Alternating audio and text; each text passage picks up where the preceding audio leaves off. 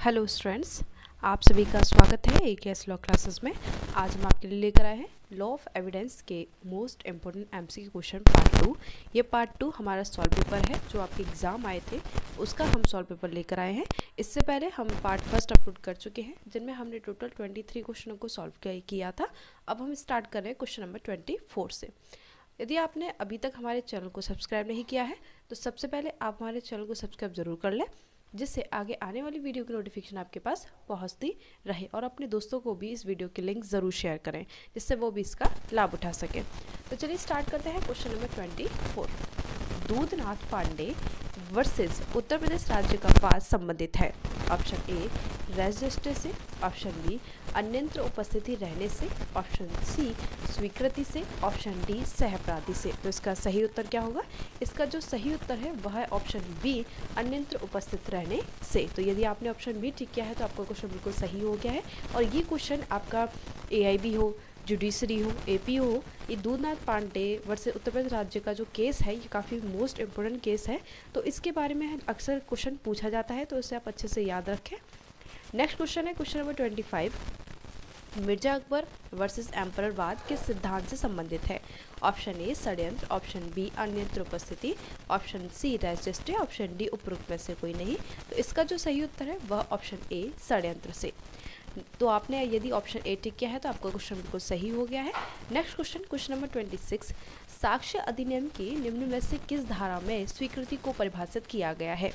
Option A धारा 16 option B धारा 17 option C धारा 20 ऑप्शन डी धारा 21 तो इसका सही उत्तर क्या होगा? इसका जो सही उत्तर है, वह ऑप्शन बी धारा 17 तो ये आपका ऑप्शन बी बिल्कुल सही है। यदि आपने ऑप्शन बी टिक किया है, आपका क्वेश्चन बिल्कुल ठीक हो गया है और ज़्यादातर कुछ बच्चों का ये क्वेश्चन बिल्कुल सही होगा क्योंकि ये तो नॉर्मल क्वेश्चन है, आपको पता ही होगा इसके बारे में। नेक्स्ट क्वेश्चन है क्वेश्चन नंबर ट्वेंटी सेवन स्वीकृति किन व्यक्तियों द्वारा की जा सकती है? इस संबंध में किन धाराओं में प्रावधान है? ऑप्शन ए धारा अठारह उन्नीस ऑप्शन बी धारा अठारह, इक्कीस, बाईस। ऑप्शन सी, धारा अठारह, उन्नीस, बीस। ऑप्शन डी, धारा बीस, इक्कीस, बाईस। तो इसका सही उत्तर क्या होगा? इसका जो सही उत्तर है वो ऑप्शन सी धारा अठारह, उन्नीस, बीस। तो यदि आपने ऑप्शन सी टिक किया है तो आपका क्वेश्चन बिल्कुल सही है। Next question question number twenty eight. प्रश्न यह है कि क्या ए द्वारा बी को बेचा हुआ घोड़ा अच्छा है? बी ए से कहता है कि जाकर सी से पूछ लो। सी इस बारे में सब कुछ जानता है। सी का कथन स्वीकृति है। उपयुक्त दृष्टांत साक्ष्य अधिनियम की किस धारा से संबंधित है? ऑप्शन ए, धारा 20 ऑप्शन बी, धारा 21 ऑप्शन सी, धारा 22 ऑप्शन डी, धारा 22 ए। तो इसका कौन सा ऑप्शन सही है? बताइए, यदि आपने कौन सा ऑप्शन टिक किया है, वो आप हमें पहले बताइए। ये जो इलस्ट्रेशन है आपका जुडिशरी में अक्सर मेंस एग्ज़ाम में पूछा जाता है, समस्या के तौर पर। तो वो हमें आप वहाँ सॉल्व करना होता है, बाकी प्री में भी अक्सर पूछा जाता है तो इसे आप अच्छे से याद रखें। बाकी इसका जो सही उत्तर है, वह ऑप्शन ए धारा 20 से संबंधित है। ठीक है, यदि यदि आपने ऑप्शन ए टिक किया है तो आपका क्वेश्चन बिल्कुल सही हो गया है। क्वेश्चन नंबर ट्वेंटी नाइन निम्न में से कौन सा प्रावधान इंटरेस्ट, रिपब्लिक अटसेट फिनिश लिथियम, विधिक सुक्ति पर आधारित है। ऑप्शन ए, धारा 22 ए, ऑप्शन बी, धारा 24 ऑप्शन सी, धारा 23 ऑप्शन डी, धारा 21 तो इसका सही उत्तर क्या है? इसका जो सही उत्तर है वो ऑप्शन सी, धारा 23 next question question number thirty, police officer को दी गई संस्वीकृति ग्राह्य नहीं होती है। ऑप्शन ए धारा 24 ऑप्शन बी धारा 25 ऑप्शन सी धारा 26 ऑप्शन डी धारा 27 तो इसका सही उत्तर क्या होगा? इसका जो सही उत्तर है, बाकी ऑप्शन बी है, जो सही उत्तर है। यानी ऑप्शन बी के अंतर्गत, धारा 25 के अंतर्गत पुलिस ऑफिसर जो अभियुक्त जो संस्वीकृति करता है तो वो ग्राह्य नहीं होती है। और यदि 27 में वो संस्वीकृति करता है तो जितना पार्ट उसका जो 27 के अंदर जितना पार्ट नया निकल के आता है, उसको वो ग्राह्य कर लिया जाता है। जैसे कि अगर अभियुक्त कहता है कि मैंने उस व्यक्ति की गर्दन काट कर तलवार को या कुल्हाड़ी को उस गड्ढे में दबा दिया या फिर उस तालाब में फेंक दिया तो उसकी 25 के अंतर्गत करता है तो वो संस्वीकृति ग्रह नहीं है, पर 27 के अंतर्गत करता है, जो नए तथ्य का पता चलता है, उसको वो ग्रह माना जाता है। यानी वो कुल्हाड़ी पे कहता है कि यदि आप मेरे साथ चलो तो उस कुल्हाड़ी को तालाब से निकाल लेंगे और वो जो अगर नया फैक्ट जो पता चल रहा है तो वो ग्राह्य होगा। बाकी 25 में अंतर्गत जो की जाती है संस्कृति पुलिस ऑफिसर के सामने तो वो ग्राह्य नहीं है। यदि 27 के अंतर्गत की जाती जो नए तथ्य का पता चलता है, उसको ग्राह्य माना जाता है। नेक्स्ट है क्वेश्चन नंबर थर्टी वन उत्प्रेरणा धमकी या वचन द्वारा प्राप्त संस्वीकृति ग्राह्य नहीं है। किस प्रावधान में दिया गया है? ऑप्शन ए धारा तेईस. ऑप्शन बी धारा चौबीस. ऑप्शन डी धारा पच्चीस. ऑप्शन डी धारा छब्बीस। तो इसका सही उत्तर क्या है? इसका जो सही उत्तर है, वह ऑप्शन बी धारा चौबीस। तो यदि आपने ऑप्शन बी टिक किया है तो आपका क्वेश्चन बिल्कुल सही है। Next question question number thirty two Devman Upadhyay versus Uttar Pradesh राज्य वाद निम्न में से किससे संबंधित है? ऑप्शन ए षड्यंत्र. ऑप्शन बी संस्वीकृति. ऑप्शन सी विबंध. ऑप्शन डी उपधारणा. तो इसका सही उत्तर क्या है? इसका जो सही उत्तर है वो ऑप्शन बी संस्वीकृति. क्वेश्चन नंबर थर्टी थ्री किस वाद में निर्णित हुआ कि साक्ष्य अधिनियम की धारा सत्ताईस धाराएँ चौबीस, पच्चीस, छब्बीस का अपवाद है।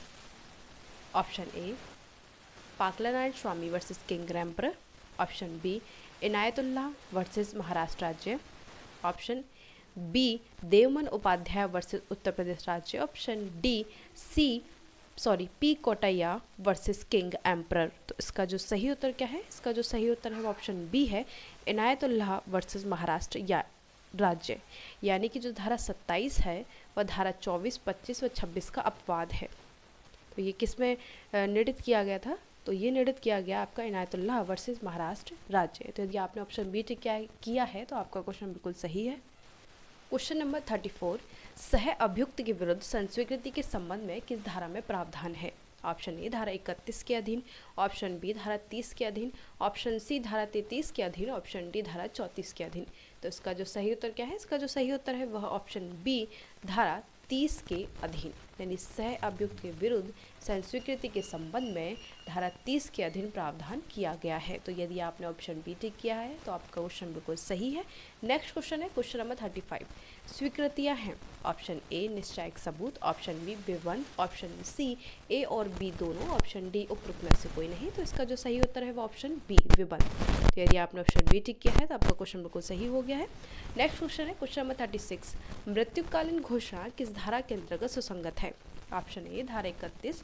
ऑप्शन बी धारा बत्तीस. ऑप्शन सी धारा चौंतीस. ऑप्शन डी धारा पैंतीस. तो इसका जो सही उत्तर क्या है? इसका सही उत्तर है ऑप्शन बी धारा बत्तीस.